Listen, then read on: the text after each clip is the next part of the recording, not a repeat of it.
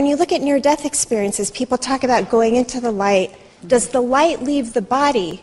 And if so, is that the energy structure of the body that before the brain and the body decays to a point that it can't be resuscitated, is still communicating with the body via like bioentanglement, for lack of a better word? Is that something that is a really real experience that could one day be measured by science, but also point to the validity of the intuitive truth of certain uh, wisdom, traditions, or religions? Uh, first of all, in the, in the word itself, near death. They're not dead, they're near dead. There's a very big difference there. Uh, and, and you can replicate these in the lab. You can put on Michael Persinger's God helmet that bombards the temporal lobes with electromagnetic fields, and people have out of body near death experiences right there in his room. You can do it through uh, oxygen deprivation by accelerating people uh, in a, a centrifuge. These are pilots.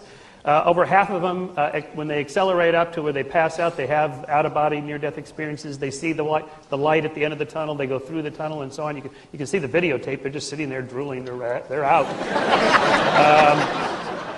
and of course, you can do this through uh, sleep deprivation, through extreme environments. Arctic climbers, uh, Arctic explorers, mountain climbers, sol- uh, solo sailors have these kinds of out of body near death sense presence experiences uh, under extreme environment, environmental conditions. So th- those three lines of evidence tell us it's in the brain, not outside of it.